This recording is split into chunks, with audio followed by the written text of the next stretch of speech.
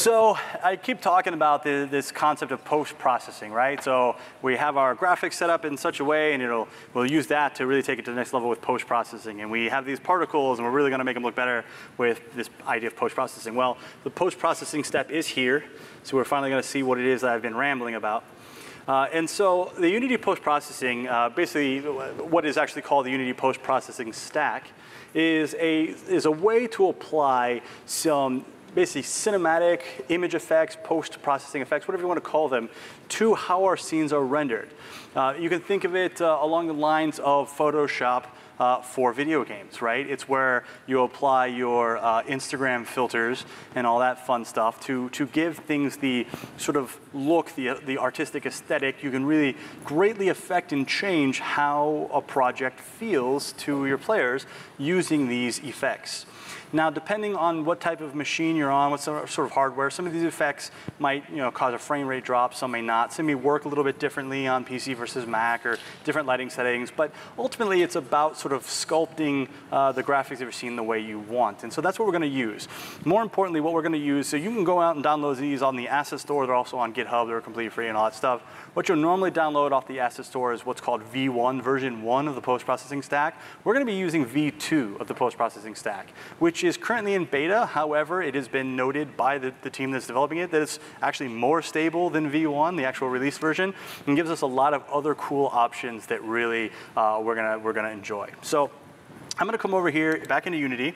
Um, so I've got my ship with my particle effects and all that's all well and good. And the first thing I need to do is I need to tell my camera that it is capable of seeing post-processing. So there's two parts to this. I tell my camera, yes, you see effects, and then I set up the effects right? And I can do this through something called volumes and stuff like that. And so on my camera, I'm just gonna come down here to the very bottom, and I'm gonna click Add Component, and then I'm gonna go to Rendering, and I'm going to add a post-process layer. Now, a post-process layer is basically me saying, camera, you see post-processing effects. And so the first thing is uh, the trigger here, it's automatically gonna find that. That's just gonna be the camera that it's already on. And then second is, okay, what layer is it looking for? Right now it says nothing, and so I'm getting a warning, hey, no layers uh, set. I'm not gonna see anything. Okay, well, if I set it to everything, it's gonna say, whoa, I didn't say that.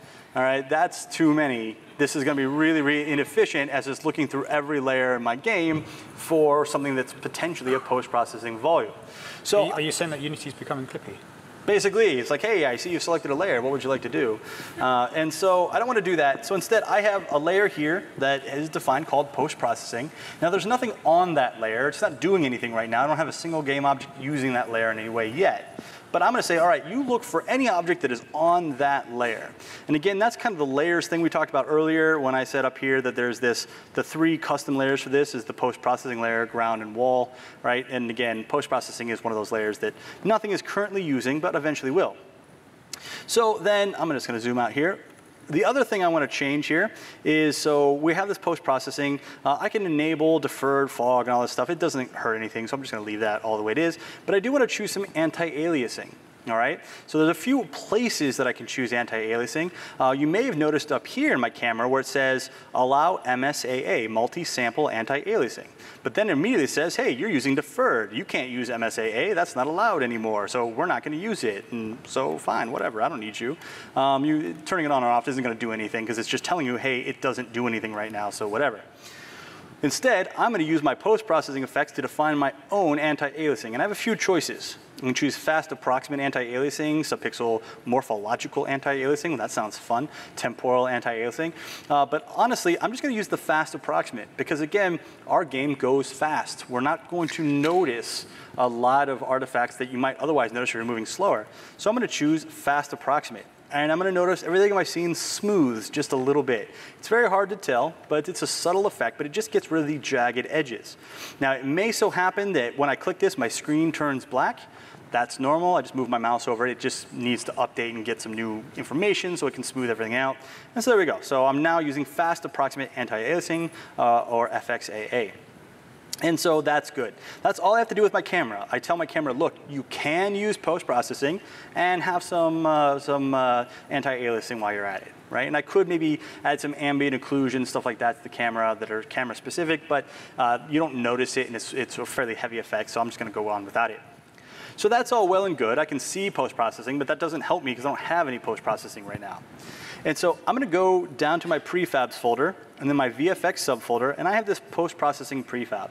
Now don't worry, I'm not doing some special secret steps behind the scenes and, and it's gonna ruin everything for you. Uh, the post-processing prefab is an empty game object has a few children that are all empty game objects. I just didn't want to have to create all these empty game objects and name them and place them and whatever. So I have a global game object that is empty. I have a cave volumes object that is empty. Um, the only thing that I have that is not empty are these cave volumes, and all they are are just simply box colliders. That's it, right? So I'm not doing anything secret behind the scenes that you don't know about or whatever. So I'm going to click on my global game object here under my post-processing volume, my global, and I'm going to add some post-processing to this. So I'm going to click Add Component, and then I'm going to go to Rendering, Post-Process Volume. And this is a global volume, meaning I want this to be sort of the baseline, how my whole scene looks. This is going to be applied to my camera regardless of where it is or all that other stuff. So this is my global profile, so I'll just check that. I'll leave it with a weight of one, meaning it's 100% of it is being applied. I'll leave it with a priority of zero. And to create a profile, I'm just going to click New, and it's going to create a profile for me. So I'm gonna start off by adding some stuff. I'll click Add Effect, Unity, and I love some bloom. So I'm gonna click bloom. And I get all these options that are grayed out because this is a stack, meaning that I need to define what the baseline is and then what I want to override and do that sort of stuff. So I'm going to say, you know what, I want some intensity, so I'll check the intensity box, and I'll just raise my intensity super duper high. And I'll think, well, I'm not seeing anything. Why am I not seeing anything? Nothing there. All right, well, maybe my threshold is too high, so I'll check threshold and I'll drop it down. All right, still don't see anything. What's happening? Well, you recall, I said, hey, main camera, look for anything on the post-processing layer. Well, on global, I'm on the default layer, so I gotta fix that. So I'll just click the little drop down and say, you know what, you're on the post-processing layer now, and boom, little high. You made a AAA game. Yeah, this, uh, this is, look, I made Guild Wars 2, right? So, uh, yeah, we, uh, everyone knows Bloom equals AAA. So there we go, fade away. Um, yeah, so yeah, maybe that's a bit much, maybe. I'm not willing to commit to that. Um, so there we go. So we can add some bloom. Who doesn't love some bloom? And the, kind of the cool thing about this is I'm not an artist, I'm a programmer. My art is like stick figures and cubes and whatever, and I can figure this out. That really says something. Uh, so I can have some bloom, uh, I'll go to uh, add some more, I'm gonna add, uh, I don't know, some color grading. Everyone loves color grading, so I'll just come here and say, all right, color grading, let's, uh, let's add some lift. I don't know what lift does, but let's play around with it. So I'm gonna add some lift, there we go. We feeling like we're on Instagram yet? So there, bam, all right. Beautiful. I'm an artist. Yes. All right. I call this one Autumn Breeze. Uh, and, you know, I can play with some temperature and whatever. I, I kind of can do really whatever I want. I can define my own effects as well, but uh, I'm going to stick to this. I'm going to add some vignettes because vignette makes every artist a pro. So I'm going to add some intensity vignette and just I'm just telling a story now, uh, and it's really cool stuff. Now I can play around with this all day long and just add all sorts of effects and whatever, and it's it's pretty neat. We actually have quite a few of these effects that we can apply. So I just go to Add Effect, Unity, and we got depth of fields. We have chromatic aberrations. Chromatic aberration being really really cool. Uh, I can turn that on. I can check some intensity and just, you know, and that's really neat. I'll turn off my color grading here.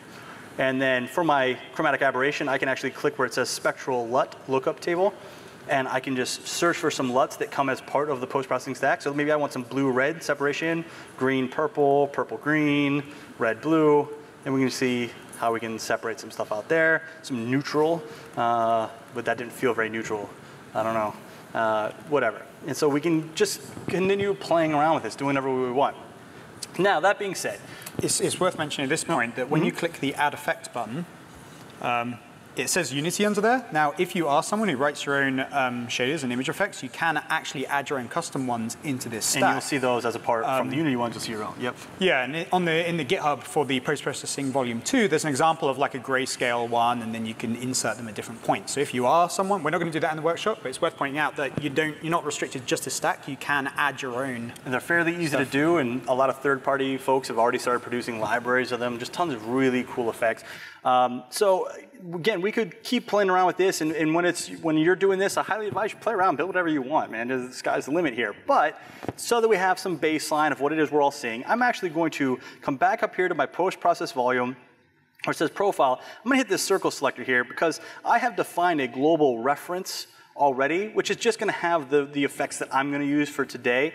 Um, and you can always just use that as a reference if you want, or you can make your own. It's entirely up to you. But I'm going to click global reference. And so these are the ones that I'm using here. And so I can just talk about a little bit. So we have some motion blur. And the way the motion blur is going to work is that, you know, if you're moving slowly, you're not going to see anything. But the faster you go, the more you're going to know some blur. Again, we're selling that feeling of going fast. I'm adding some auto exposure. And what's neat about auto exposure is it's going to change how things are keyed in my scene.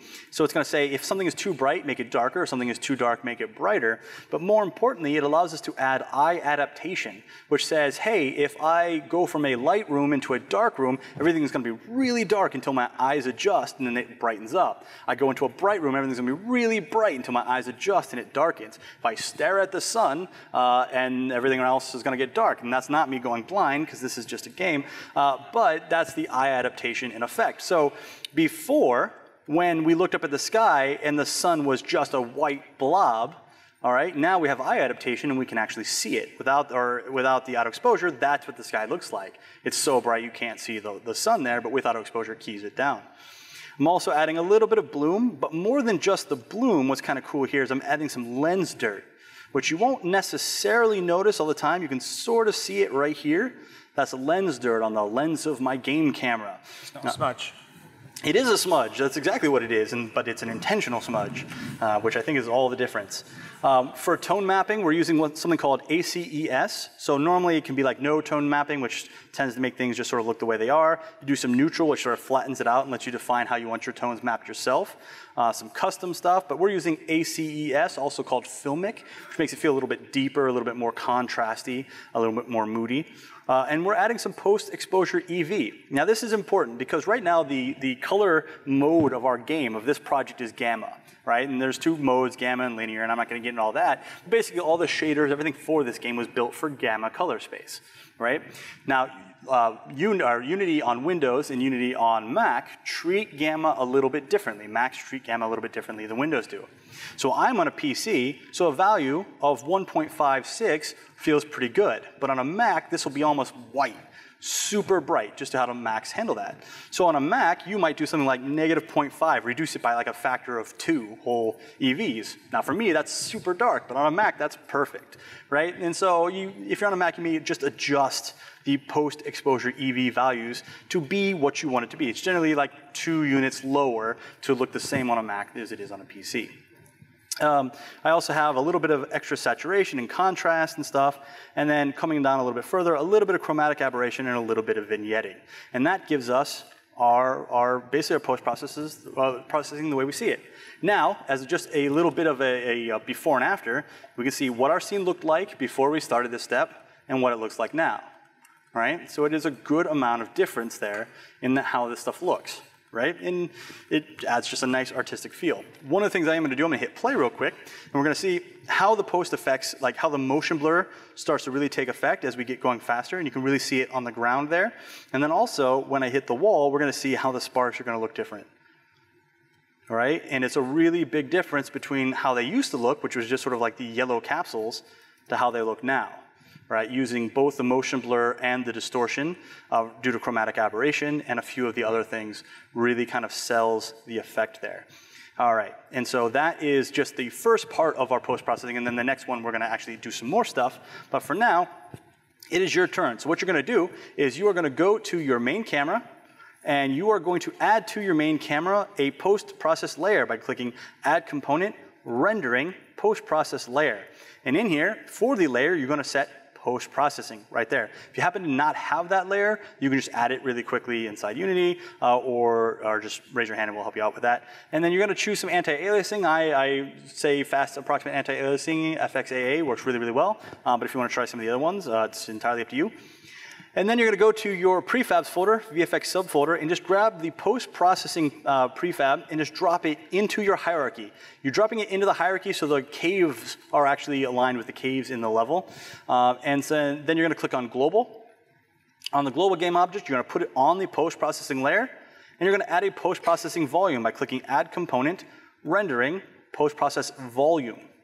Then you're going to check Global is global, you can add a new profile and just start adding everything you want to add to it. Or if you just want to use the one I used, you can just click the circle selector and choose global reference. Or if you want to do both or whatever, uh, but just feel free to play, add, change, make it look absolutely hideous, entirely up to you. Feel free to try it out and see what you can make. Depending on maybe how old the hardware is, uh, some post-processing effects may or may not work, or depending on how powerful a machine you have, they may just cause it to run it like one frame a second, stuff like that. So, I mean, most of these effects, it's one of those things where some are great for even mobile hardware and stuff like that. Other effects are very heavy and should only be used on really powerful machines.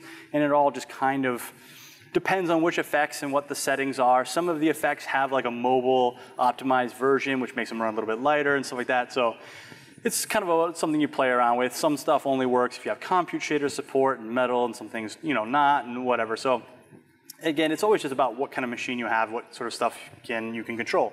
Uh, a lot of times for people, you know, for us who play games, you might remember that, you know, when you start a game and it says, you know, what graphic settings do you want, ultra or best performance, whatever. That's effectively what this is too, where you're saying like, on ultra, I'm going to turn all this stuff on, all right, but maybe if I scale it back a bit, I'm going to turn a few of these things off, or maybe just all of them off, right? So it's worth noting that, you know, even though this is really a workshop meant for everybody, depending on what hardware you have, some of the stuff, you know, it may just be a little too heavy.